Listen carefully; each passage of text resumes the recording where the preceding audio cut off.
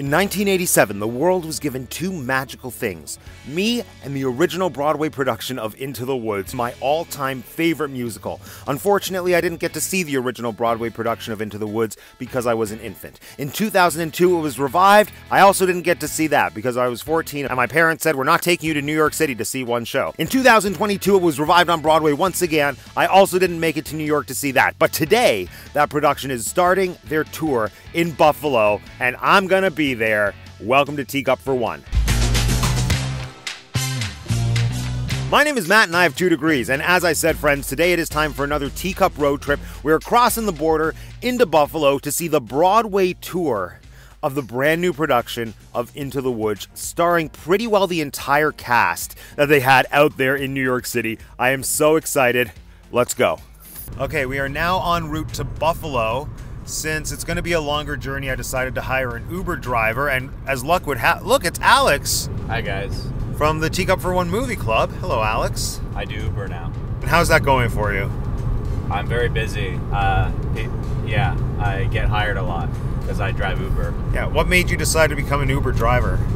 Well, one day, um, you were like, "Hey, Alex, let's go do a thing outside in the real world," and I was like, "Okay," and then you just kind of like assume that I'd be the one driving, and then I was like, "Well, if I'm the one driving, I might as well do Uber now." So that's how that happened. It's funny because it's true.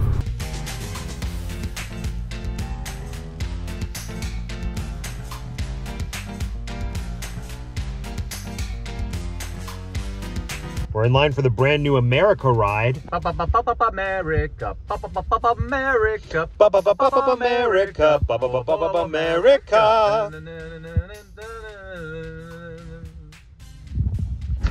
Ole. I'm not going to perform for you No, like a I- like a show. No, not for me. For the people in the video. Alex and I are now going to do our respective impersonations of Ben Wright as Jack in the original Broadway production of Into the Woods, and then you, the people, can tell us who did a better impression. A warm environment might be just what Milky White needs to produce his milk. A warm environment might be just what Milky White needs to produce his milk. A warm environment might be just what Milky White needs to produce his milk. Let us know who won.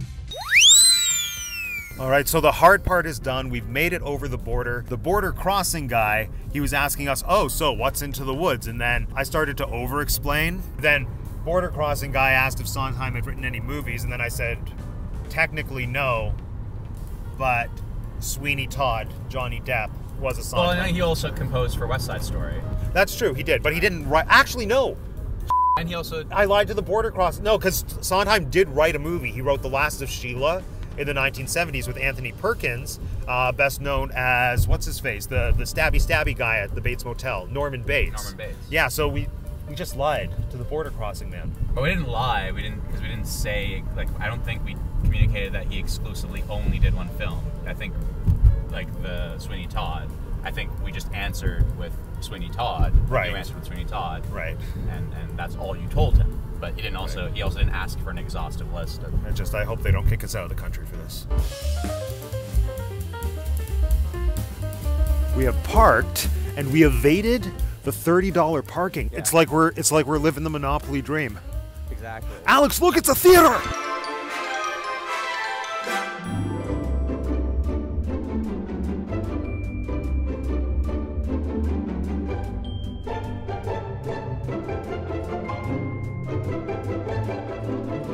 Alex, there's merchandise. There's merchandise. There's merchandise. So I'm definitely going to get magnets. What are you going to get? I don't know. I may get a shirt. Um, I'm if they have the DVD, which they probably don't. They don't. If they have if they have the DVD, you can get it cheaper places that aren't here. Yeah, but I it's convenience for me. Like I, Okay. I like I have a same same way that I'll buy a soundtrack at Yeah. the theater if I like the musical after seeing it. Yes. I'll buy the DVD and regardless of the price. Alex has more money than me.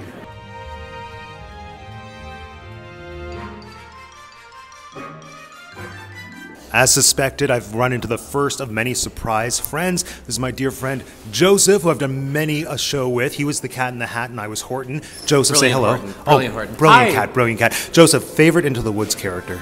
Ooh, Baker's wife. Good choice. And how thrilled am I to be seeing Stephanie J. Block?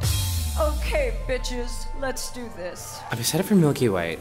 I'm very excited for Milky White. Okay. I remember everybody in New York was raving about how awesome the puppet was. Yes. And I, I saw it on Broadway, and I was like, how how good can this puppet be? Right. And it's as good as people say it is. See, I'm I, divisive opinion. I don't like human operated Milky Whites. I just want a statue. So I hope this wins me over. We'll see. We'll see. We'll see. We'll see. Check in. Wonderful. Thank you, Joseph. You're most welcome.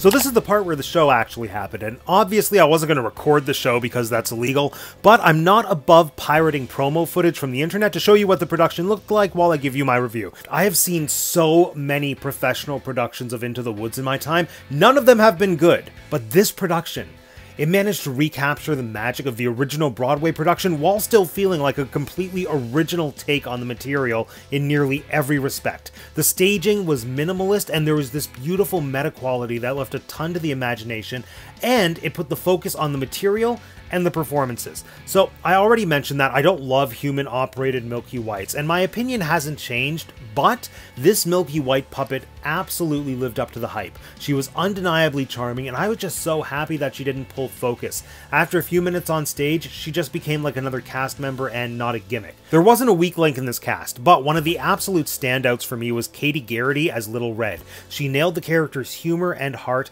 and in addition to being an incredible singer, her acting was superb. She gave me new insights into the character that I hadn't known before, and it was thrilling to watch. Overall, Act 1 was a total treat. The pacing was top notch, and I was smiling ear to ear, which was great because we all know how Act 2 is a total sob fest. So, with that said, enjoy this footage that we took at intermission. We're currently at intermission. Alex, we're going to do a full debrief after, but opening thoughts. Um, so uh, the, this quote unquote minimalist production is a lot less minimalist than I expected. Um, I, I mean, I'm not an expert on these kinds of definitions, but I'll, I'll expert you later. yeah, but my definition of minimalism it's, is not this. Um, otherwise, I'm enjoying it. I, there's a lot of there are a lot of interesting and cool and fun and surprising things in this show in terms of uh, unorthodox uh, interpretations of characters and, and Agreed, I'm loving the choices, most Yeah. of them, yeah. yeah. So it's so far I'm, I'm having a blast. As am I, I'm excited to cry in this act. Are you? I don't think I'm going to cry. I don't think that it's it's that good, but you Okay. know, if, if it is, I will. You, you might see me cry, don't judge. So, Act 2 was everything I could have hoped for. Montego Glover as the witch was heartbreaking, and her last midnight was so powerful. Stephanie J. Block lived up to her reputation, and she delivered a Moments in the Woods, which, once again, gave me a new perspective on the material and the character, and she just had this amazing moment of discovery at the end of the song on uh, Makes the Aura Mean More Than It Did Before. And I don't know how to describe it, but like it felt like her soul left her body, and I cannot describe it any better, but just trust me, it was pure magic. And now I need to talk about the performance that made the show for me Sebastian Arcelus as the baker. This role is near and dear to my heart, and Sebastian is the first performer I've seen in this role since Chip Zien that just embodied the character with the humor, the heart, and the vulnerability that's needed for the show to work. And the show did work. And it was pure magic. All right, the show has wrapped up. I've run into two more amazing friends. This is Arthur and Esther.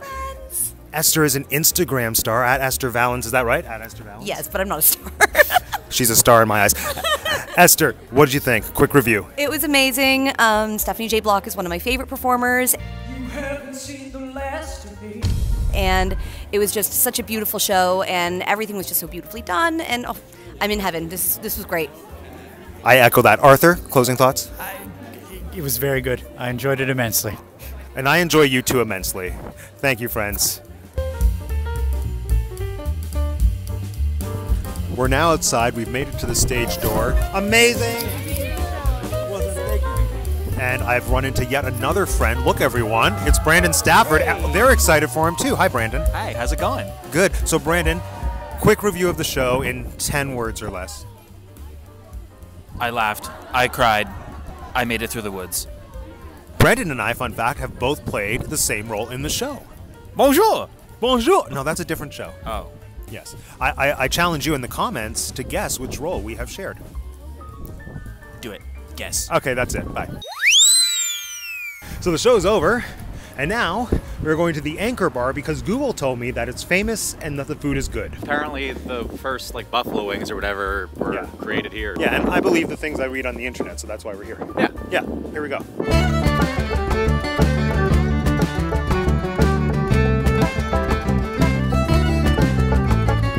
We have just secured a table. Fun fact, we had to set the bar for like 20 minutes while we were waiting for the table to open up, and the entire cast of Into the Woods is here, sitting at the bar. Did I talk to them and disturb them? Absolutely not, but I absolutely wanted to. And now we're here.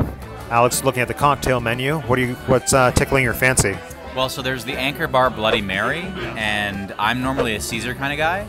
So I'm contemplating. We're in the states, but they do they do Caesars in the states, don't they? I think it's a Canadian thing. Oh, well, I have no concept of that, so I'm considering asking them to make it a Caesar. But because we do Bloody Marys in, in Canada, Kind of like how in Canada we'll accept US money, but as I've been telling Alex at least three times today, Americans probably won't accept Canadian money. but why? Canada's so cool. I know, and our money is more colorful, but it's worth less. We're gonna order food now. We have placed our order, and between the two of us, we have like the most touristy buffalo foods that we could possibly order. I got an order of the original wings, also an order of the like spiciest wings, boneless. Good. And I got a medium uh, pizza, presumably the, I guess, traditional buffalo cup and char Yeah. pepperoni, double pepperoni, and hot banana peppers on top. I, I was less ambitious. I got an order of wings. I got the dry buffalo rub. Um, still not sure what that is, but I'm gonna try it. And then I also got the beef on weck sandwich, which again, according to Google, Buffalo Classic. Alex, what have you ordered? It's called the K2. It's a craft beer at this Anchor bar. It looks like a Caesar, but it smells like a punch. It's described as a fishy sour, potentially.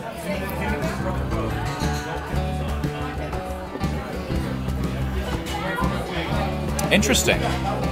I don't detect any fishiness. It, it actually does slightly remind me of a Caesar in that the aftertaste is supremely vaguely reminiscent of something savory, but there's there is no salt on the palate. There is no savoriness in the experience, but there's this like lack of sweetness, lack of like in the aftertaste. There's just like a lack of anything else that it kind of makes you remember what like savory is. If that makes any modicum of sense.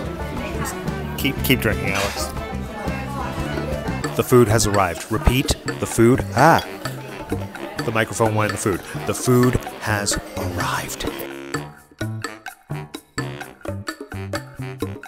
iconic. I grew up with these bowls. A buffalo spice original buffalo wing. It's uh, it's buttery, it's spicy. It's everything the body needs. I am now going to try the classic beef on weck sandwich, which is shaved beef on a Kimmelweck roll. I can't tell you what that means. Well, I can. It's a roll that has like salt and caraway, I think, on it. Let's try it. Oh, like look, look at that. Look at that. Okay. That is quite a mix of flavors, which are mostly obscured by salt. if you like beef and if you like weck, you will like this. All right, now is the time. I'm trying my buffalo dry rub wing. Here it is. It's a buffalo wing with like a, a dry rub on it. That was a good mix of flavors. There's a good spice. I wasn't expecting this to have as much kick to it as it does. Like if you like buffalo, if you like wings, if you like dry, and if you like rubbing, you will like this. The time has arrived. Alex is going to try the most extremely hottest heat something something. What's it called? The extreme heat? extreme heat. He's going to try the extreme heat. We're going to watch.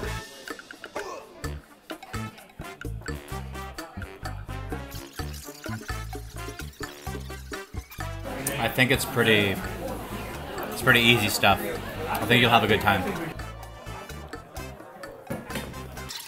Why don't I take? Is it going to kick me? Oh wait. Oh no. Oh, this is It's pretty manageable. no. This is quite literally a slow. This is quite literally a slow burn. Oh, no, it's easy. It is. Yeah, yeah. It's easy like Sunday morning. Yeah, exactly. Sunday morning, rain is falling. My mouth hurts though. It's okay. My Go- mouth, go- but, go by quick. but my mouth hurts. My, my mouth hurts.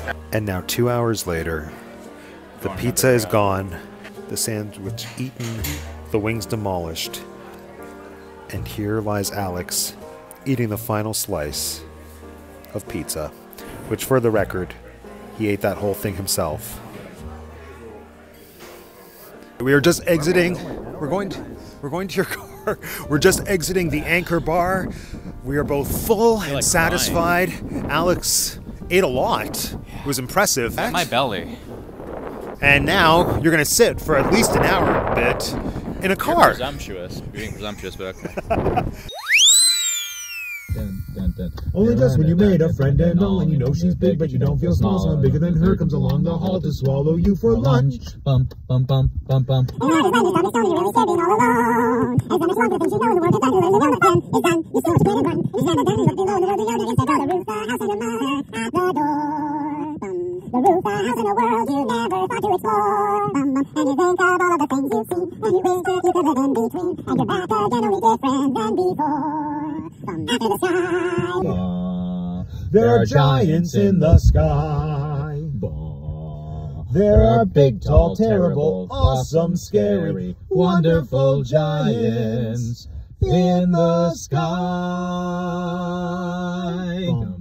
We just got back from Into the Woods. It was ugh, so many things to say. It was a wonderful example of minimalism. Um, solid cast, beautifully directed. So lovely to hear a full orchestra. Yeah, Alex, what are your thoughts on the production?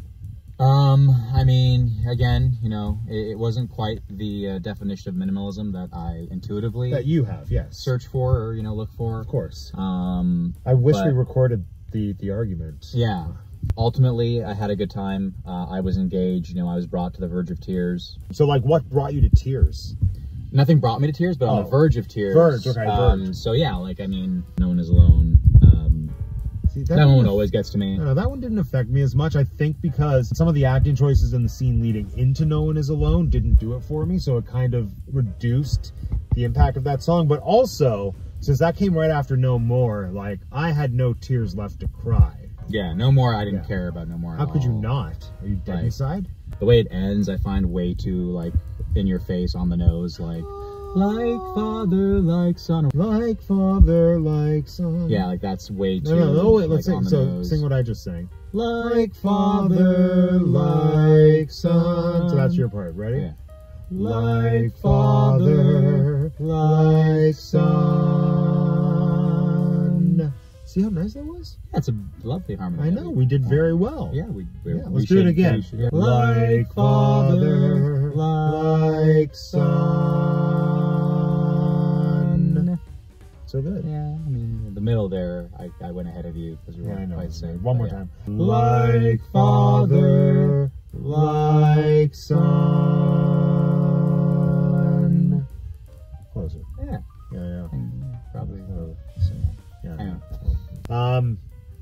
How do you how do you end this? But you're pressing the camera as opposed to the stop. That's button. what you do. That's me. You can't end it like me. How do you